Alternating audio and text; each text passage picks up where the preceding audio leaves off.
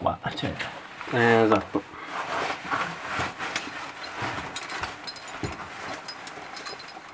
anche io sento?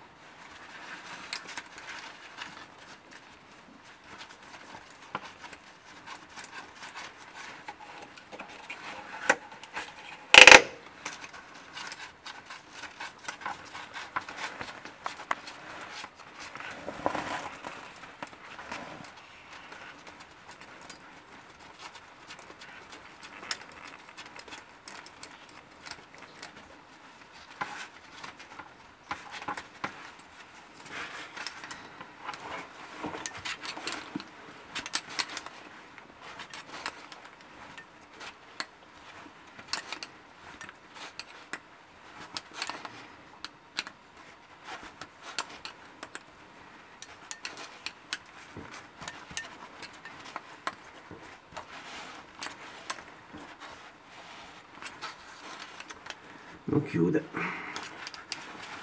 Facciamo così.